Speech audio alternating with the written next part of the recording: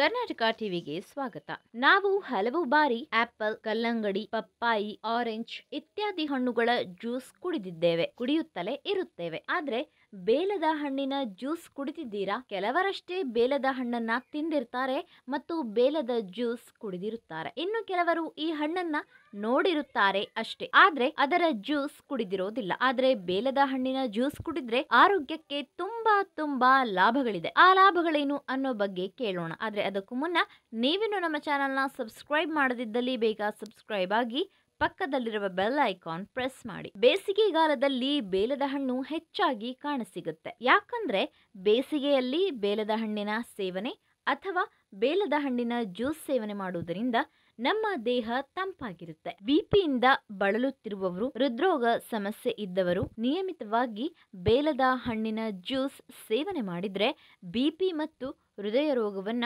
ಕಂಟ್ರೋಲ್ನಲ್ಲಿಡಬಹುದು. ಅಜೀರ್ಣ ಸಮಸ್ಯೆಯಿಂದ ಬಳಲುತ್ತಿರುವವರು ಕೂಡ ಬೇಲದ ಹಣ್ಣಿನ ಸೇವನೆ ಮಾಡಬೇಕು. ಇದರಿಂದ ಅಜೀರ್ಣ ಸಮಸ್ಯೆ ಸೇರಿ ಹೊಟ್ಟೆಯ ಎಲ್ಲ ಸಮಸ್ಯೆಯಿಂದ ಮುಕ್ತಿ ಪಡೆಯಬಹುದು. ಕೊಲೆಸ್ಟ್ರಾಲ್ ಪ್ರಮಾಣ ಹೆಚ್ಚಿದ್ದಲ್ಲಿ ಬೇಲದ ಹಣ್ಣಿನ ಜ್ಯೂಸ್ ಸೇವಿಸಿ. ಇದು ದೇಹದಲ್ಲಿನ ಕೊಲೆಸ್ಟ್ರಾಲ್ ಪ್ರಮಾಣ ಕಡಿಮೆ ಮಾಡಿ ಹೃದಯ ರೋಗ ಬರದಂತೆ ತಡೆಗಟ್ಟಲು ಸಹಾಯಕವಾಗಿದೆ. ಅಲ್ಲದೆ ರಕ್ತ ಶುದ್ಧೀಕರಣ ಮಾಡುವಲ್ಲಿಯೂ ಬೇಲದ ಹಣ್ಣಿನ ಜ್ಯೂಸ್ ಸಹಕಾರಿಯಾಗಿದೆ. ರಕ್ತ ಶುದ್ಧೀಕರವಾಗದಿದ್ದಲ್ಲಿ ನಿಮ್ಮ ಮುಖದ ಮೇಲೆ ಮೊಡವೆಗಳಾಗುತ್ತೆ. ಚಿಕ್ಕ ಚಿಕ್ಕ ಗುಳ್ಳೆಗಳಾಗುತ್ತೆ. ಹಾಗಾಗಬಾರದು. ನಿಮ್ಮ ಮುಖ ಶುದ್ಧವಾಗಿರಬೇಕು ಅಂದ್ರೆ ಬೇಲದ ಹಣ್ಣಿನ ಕುಡಿಯಿರಿ. ಇನ್ನು ನಿಮ್ಮ ಸೌಂದರ್ಯ ಹೆಚ್ಚಿಸಲು ಇದು ಸಹಕಾರಿಯಾಗಿದೆ ಮುಖದಲ್ಲಿ ಹೊಳಪು ಬರುವುದಲ್ಲದೆ ತಲೆಗೂದಲಿನ ಆರೋಗ್ಯವು ಉತ್ತಮವಾಗಿರಿಸುತ್ತೆ. ಮಲಬದ್ಧತೆ, ಸಮಸ್ಯೆಯಿಂದ ಮುಕ್ತಿ ಪಡೆಯಲು ಬೇಲದ ಹಣ್ಣಿನ ಜ್ಯೂಸ್ ಸೇವಿಸಿ. ಇದರಿಂದ ಮಲಮೂತ್ರ ವಿಸರ್ಜನೆಯ ಸಮಸ್ಯೆ ಇದ್ದಲ್ಲಿ ಪರಿಹಾರ ಸಿಗುತ್ತೆ. ಇನ್ನು ನಿಮಗೆ ಬೇಲದ ಹಣ್ಣಿನ ಜ್ಯೂಸ್ ಸೇವಿಸಿದ್ದಲ್ಲಿ ಅಲರ್ಜಿ